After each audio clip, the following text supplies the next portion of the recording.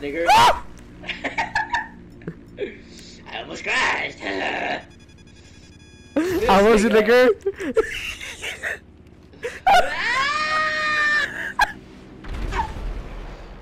Damn, nigga! Holy shit! Why was that so brutal? I know, dude.